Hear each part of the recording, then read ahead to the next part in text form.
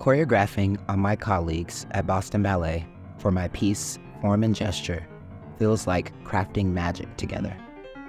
We dive into this beautiful dance journey where creativity, technique, and artistry harmoniously synchronize.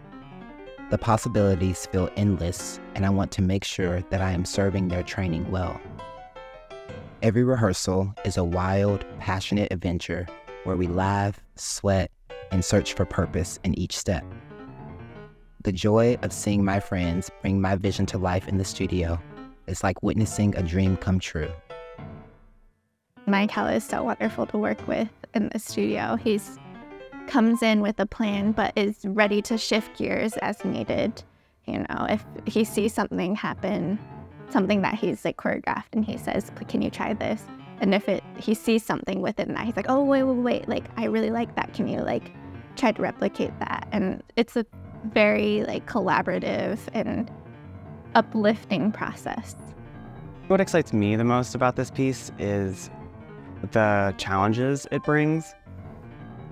Every once in a while, you get a choreographer who puts you a little bit further outside of your comfort zone than you're used to being.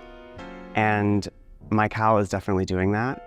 I think his style of movement is very different than anything I've done because he initiates his movement from different parts of his body. And so throughout the process, I've been really having to reorganize myself in how I move and how I use my my instrument. I think it's going to be visually pleasing.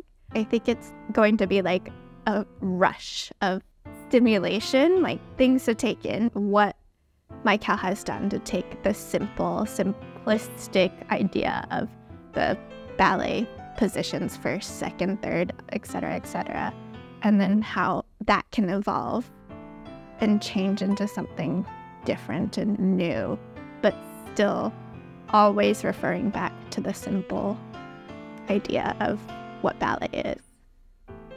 I hope that audiences see that ballet has a lot of room to continue to grow. You know, there's a lot of choreography out there, and watching a piece that has um, a sense of newness to it and a sense of originality just shows that we still have room to play with ballet.